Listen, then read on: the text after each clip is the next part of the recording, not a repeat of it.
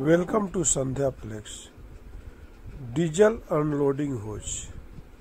इंसान हो,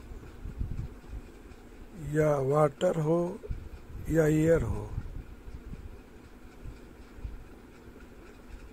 सब पर काबू पाने वाले इंसान ही तो है।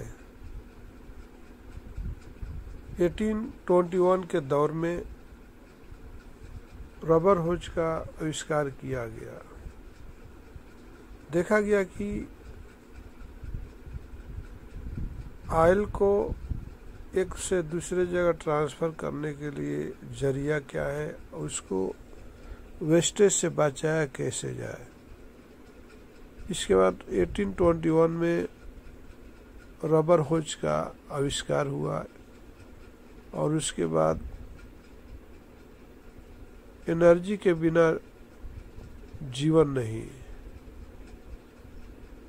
जिस तरह से इंसान को फूड्स की ज़रूरत है एनर्जी के लिए, उसी तरह से ट्रांसपोर्ट को एनर्जी की ज़रूरत है डीजल और पेट्रोल।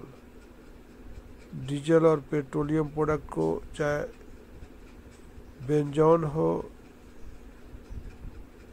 या इथिलीन हो या पेट्रोल हो, डीजल हो, फर्नेस ऑयल हो तो उसको अनलोडिंग करने के लिए एक ऐसे रबर होज की ज़रूरत थी जो 1838 में आविष्कार किया गया road and rail tanker oil hose, जो आज इजली डीजल हो या पेट्रोल हो या कोई भी लिक्विड फॉर्म को एक दूसरे व्हीकल्स में वैगन में, या रोड टैंकर से रेल टैंकर में, या रेल टैंकर से रोड टैंकर में इजीली डिस्चार्ज किया जा सकता है। इसका जो पॉलीमर होता है एनबीआर रबर लाइनिंग में होता है, कवर में न्यूप्रिन रबर ओजन रेजिस्टेंस होता है। और इसमें टायर कॉर्ड या पॉलीकॉटन फैब्रिक का रेनफोर्समेंट यूज़ किया जाता है। इसको क्लैप्स होने से बचाने के लिए वैक्यूम रेजिस्टेंस मेंटेन करने के लिए गल्वनाइजिंग किया हुआ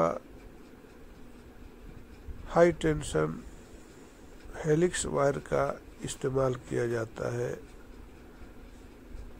ताकि डिस्चार्ज और डिलीवरी के टाइम में होज क्लैप्स न हो जाए। इसको इजीली फिटिंग करने के लिए ब्रास फीमेल नोट का इस्तेमाल किया जाता है। One side brass nut other side अगर आपको ये वीडियो अच्छा लगे तो वीडियो को लाइक और सब्सक्राइब बटन पर क्लिक करके इस चैनल को ग्रो करने में सपोर्ट करो।